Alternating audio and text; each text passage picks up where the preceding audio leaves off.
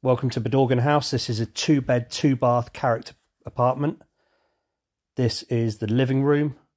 Really nice high ceilings, gorgeous bay window to the front. Nice period fireplace as well. Loads of natural light. And just look at that cornice work. Absolutely stunning.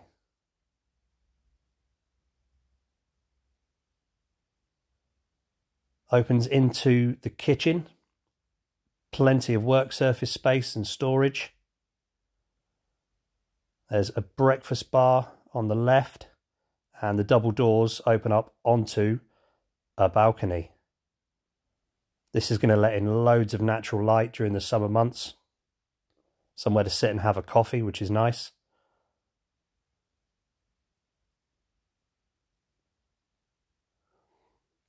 And now we're heading to the main bedroom.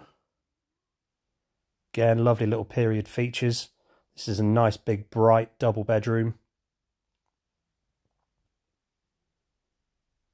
Triple wardrobes there with mirrored sliding doors.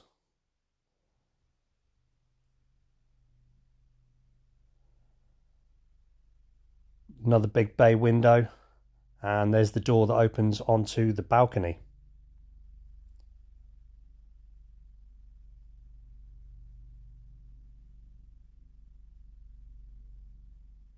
Just heading into the ensuite now. This comprises uh, a WC, wash basin with storage underneath, and a shower cubicle.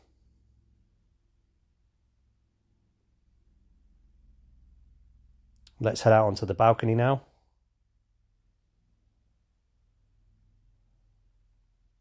Here's your deck. And look at that for a view. Big enough for a table and chairs, somewhere to sit and eat during the summer.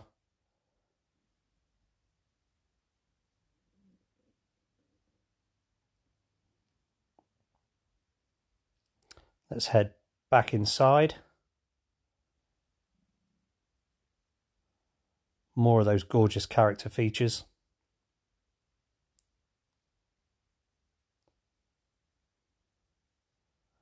Let's head off and check out bedroom two.